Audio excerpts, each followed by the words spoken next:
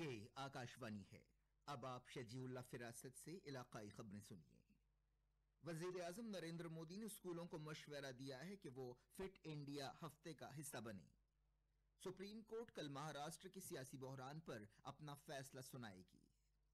Telangana RTC JAC ने अपनी हड़ताल जारी रखने का फैसला किया है क्योंकि हुकूमत ने ड्यूटी से रुजू होने के लिए उनकी आमादगी पर कोई जवाब नहीं दिया है।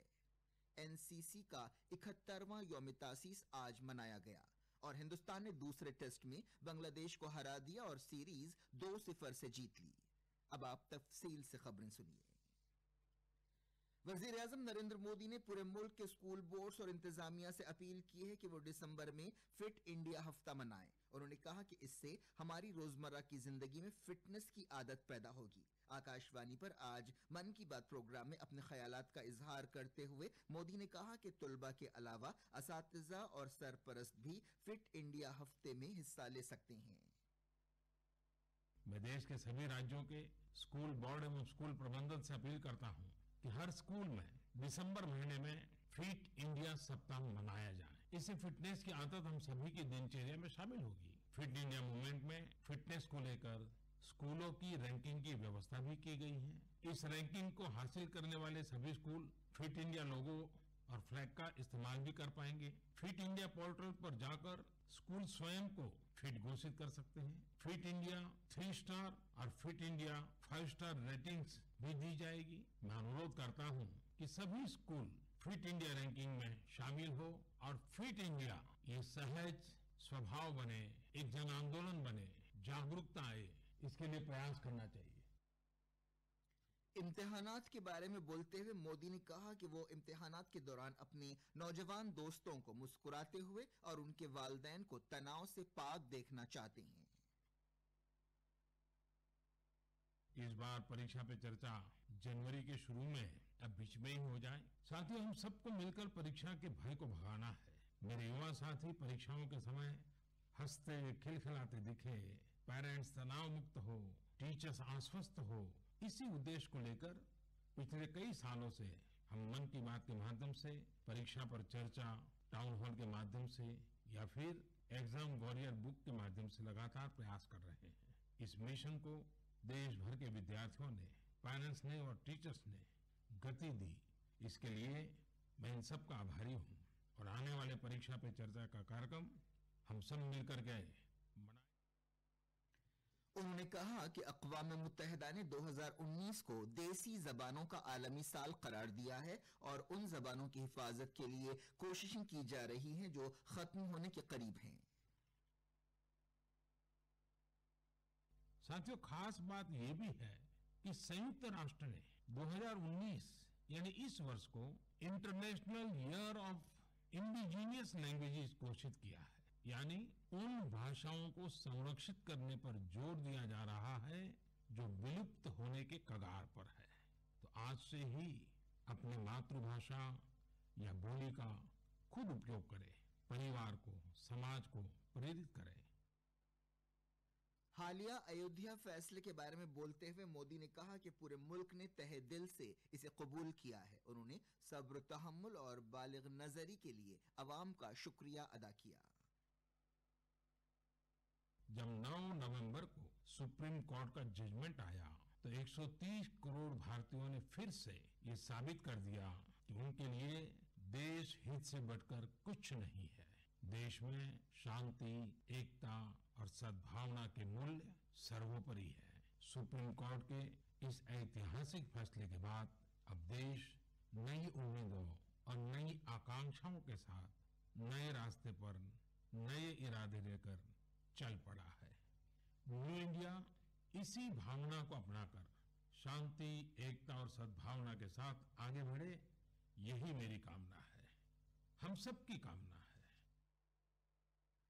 वज़ीर आज़म ने कहा कि विशाखापट्टनम में तरबियत देने वाले स्कूबा डाइवर्स साहिल से 100 मीटर दूर गए और कचरा लाया। उन्होंने कहा कि अगर हर कोई अपने अतराफ के इलाके में प्लास्टिक कचरे से पाक करने का अहद करें तो प्लास्टिक फ्री हिंदुस्तान पूरी दुनिया के लिए एक मिसाल बन सकता है। विशाखापट्टनम में गोताखोरी का प्रशिक्षण देने वाले स्कूबा डाइवर्स एक दिन मंगामारी पेटा बीच पर समुद्र से लौट रहे थे। तो समुद्र में तैरती हुई कुछ प्लास्टिक की बोतलों और पाउच से टकरा रहे थे। इसे साफ़ करते हुए दो सप्ताह के भीतर भीतर करीब करीब चार हज़ार किलो से अधिक प्लास्टिक वेस्ट उन्होंने समंदर से निकाला है। इन स्कूबा डाइवर्स की एक छोटी सी शुरुआत एक बड़े अभियान का रूप लेती जा रही है। जरा सोचिए इन स्कूबा डाइवर से प्रेरणा लेकर अगर हम भी सिर्फ़ अपने आसपास के इलाके को प्लास्टिक के कचरे से मुक्त करने का संकल्प कर ले तो फिर प्लास्टिक मुक्त भारत पूरी दुनिया के लिए एक नई मिसाल पेश कर सकता आज मनाए जाने वाले एनसीसी डे के बारे में बोलते हुए मोदी ने बाज एनसीसी कैडेट्स के साथ बातचीत की, जिन्होंने एक भारत, श्रेष्ठ भारत कैंप्स और नौजवानों के तबादला प्रोग्रामों में अपने तजुर्बात बयान किए। मोदी ने कहा कि फौज का फ्लैग डे 7 दिसंबर को मनाया जाता है और हर शहरी को उस दिन आगे आना चाहिए और फौज का परचम हासिल करते हुए अतिया देना चाहिए। वज़ीर आज़म ने हर साल 26 नवंबर को मनाए जाने वाले यौम दस्तूर की अहमियत को नुमाया किया। उन्होंने कहा कि इस साल ये दिन और ज़्यादा खास है क्योंकि मुल्क दस्तूर की मंजूरी के 70 साल पूरे कर रहा है। उन्होंने कहा कि पार्लियामेंट में एक खसूसी प्रोग्राम के ज़रिए ये दिन मनाया जाएगा और पूरे साल मुल्क भर में कई दूसरे प्रोग्राम्स भी रखे जाएँगे। ये आकाशवाणी है। सुप्रीम कोर्ट ने सॉलिसिटर जनरल तुषार मेहता से कहा है कि वो महाराष्ट्र में सदरराज बर्खास्त करने और देवेंद्र फडणवीस को हुकूमत बनाने की दावत देने से मुतालिक गवर्नर भगत सिंह कोशियारी के खतूत उनके सामने पेश करें। Justice N V Ramana justice Ashok Bhushan और जस्टिस संजीव खन्ना की बेंच ने सॉलिसिटर जनरल से कहा कि वो कल दिन के साढ़े दस बजे ये खतूत पेश करें ताकि अहकाम जारी किए जा सकें। बेंच ने चीफ मिनिस्टर की हैसियत से देवेंद्र फडणवीस को हलफ दिलाने के गवर्नर के फैसले के खिलाफ शिवसेना एनसीपी और कांग्रेस की दरखास्त पर मरकज और महाराष्ट्र हुकूमत को नोटिसें जारी की। अदालत ने फडणवीस और नायब वज़ीर आला अजीत पवार को भी नोटिस जारी की।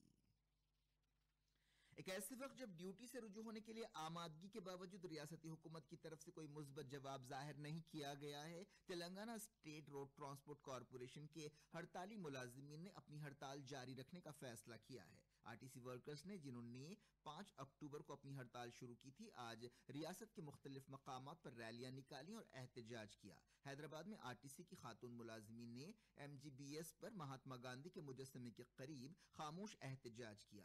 जेएसी कन्वीनर अश्वत्थामा रेड्डी ने कहा कि वो आरटीसी को बचाने के उनवान से कल रियासत भर में एहतजाज करेंगे। उन्होंने इक्यावन दिनों से हड़ताल में हिस्सा लेने के लिए तमाम मुलाजिमीन का शुक्रिया अदा किया। दुनिया में वर्दी में मलबूस नौजवानों की सबसे बड़ी तंजीम एनसीसी आज अपना इकहत्तरवां योम तासीस मना रही है। इस मौके पर एनसीसी कैडेट्स मार्चों तहजीबी प्रोग्रामों और समाजी तरक्की के प्रोग्रामों में हिस्सा ले रहे हैं। उन्होंने मुल्क के इतिहाद को सरबुलंद रखने के लिए काम करने और बच्चियों की हिफाजत, जहेज और करप्शन जैसी समाजी बीमारियों को रोकने के लिए और मजहबी हमाहंगी को बढ़ावा देने और समाज की तरक्की के लिए काम करने का अहद किया। आंध्र प्रदेश और तेलंगाना की डायरेक्टरेट ने परेड ग्राउंड सिकंदराबाद में एक शानदार परेड और तहजीबी शो के ज़रिए ये दिन मनाया। हिंदुस्तान ने बांग्लादेश के खिलाफ day and night Kolkata test एक इनिंग्स और 46 रन से जीत लिया और सीरीज़ पर दो सिफर से कब्जा कर लिया। बांग्लादेश की टीम अपनी दूसरी इनिंग्स में एक पर आउट हो गई। एडन गार्डन में खेले गए इस पिंक बॉल टेस्ट में हिंदुस्तान ने अपनी पहली इनिंग्स नौ विकेट पर तीन पर डिक्लेयर की थी। बांग्लादेश ने अपनी पहली इनिंग्स में 106 रन बनाए थे। हिंदुस्तान ने इंदौर में पहला टेस्ट, एक इनिंग्स और 130 रनों से जीता था। यह हिंदुस्तान की वतन में मुसलसल बारहवीं सीरीज़ जीत है। आखिर में इस बुलेटिन की खास खास खबरें एक बार फिर। वज़ीर आज़म नरेंद्र मोदी ने स्कूलों को मशवरा दिया है कि वो फिट इंडिया हफ़्ते का हिस्सा बने। सुप्रीम कोर्ट कल महाराष्ट्र के सियासी बहरान पर अपना फैसला सुनाएगी। तेलंगाना आरटीसी जेएसी ने अपनी हड़ताल जारी रखने का फैसला किया है क्योंकि हुकूमत ने ड्यूटी से रुजू होने के लिए उनकी आमादगी पर कोई जवाब नहीं दिया है। एनसीसी का इकहत्तरवा योम तासीस आज मनाया गया और हिंदुस्तान ने दूसरे टेस्ट में बांग्लादेश को हरा दिया और सीरीज़ दो सिफर से जीत ली। खबरें खत्म हुई।